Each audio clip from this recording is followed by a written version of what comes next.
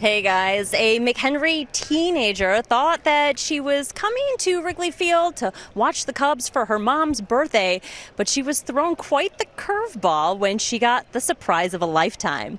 Right behind me, this is 15 year old Brianna Barker. She's currently battling cancer and is currently waiting to have a bone marrow transplant.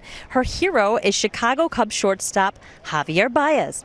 She's sure she's watching him whenever he's playing, and today she gets more than that. She gets to meet him. So any minute now, he's going to be popping up here to meet his biggest fan, Brianna. She gets to meet that idol before the Cubs take on the Milwaukee Brewers here at Wrigley Field today. You know, we are fortunate at Advocate and Advocate Children's Hospital that we have so many wonderful physicians and nurses that help us identify these patients who are really, you know, in need of doing something nice. So we're we're really excited that we're able to bring Brianna and her family here to have a special day at the park, meet her hero Javy Baez. She's a she's a great girl. Javy's her favorite player. So we're just really excited we're able to make this happen for her.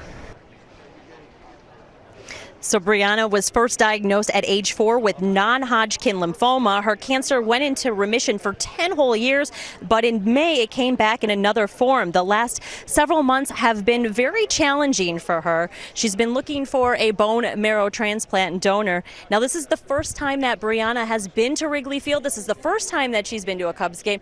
And man, what a way to come and see your team play. Now, if you're interested in becoming a bone marrow donor, you can sign up yourself and register at bethematch.org. This is the way that she's going to be able to find her donor. Live at Wrigley Field, Jen DeSalvo, NBC5 News. So important. And what a great gesture by the Cubs and Javy Baez. A great meeting. Can't wait to see it later on. Thank you, Jen.